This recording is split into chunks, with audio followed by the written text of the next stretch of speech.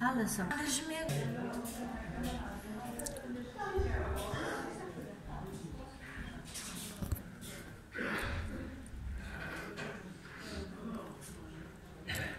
Ulica Szpitalna w Chełmie.